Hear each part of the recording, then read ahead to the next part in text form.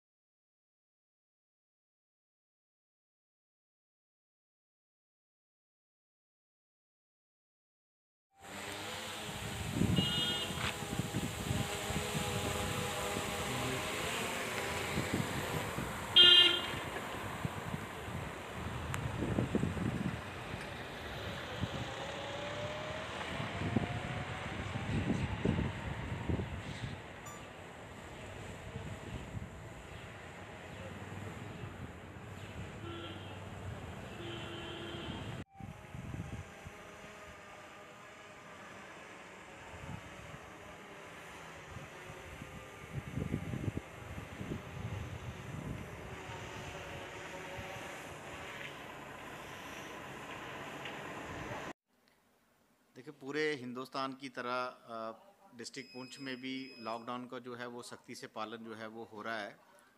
लेकिन बीच में कहीं हमें पता चलता है कि कोई शरारती लोग हैं या कोई उस तरह के अनासर हैं जो अपनी हरकतों से बाज नहीं आ रहे हैं, उनके खिलाफ जो है वो एक तो सख्त सख्त कार्रवाई होगी।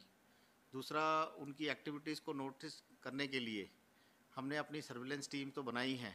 इसके अलावा जो ड्रोन है, उसका भी इस्तेमाल कर रहे हैं, ताकि हमें पता चल सके कि कौन से एरिया में, कौन से मोहल्ले में जो हमारा लॉकडाउन है, उसका ब्रीच हो रहा है, और वो कौन लोग हैं जो इसमें खलल डाल रहे हैं।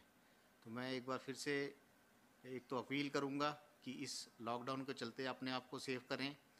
वो सारी जो हेल्थ एडवाइजरीज़ हैं, उनके ऊपर अमल करें और हमारा साथ दें, क्योंकि ये जो लॉकडाउन है, ये हम सबके लिए है।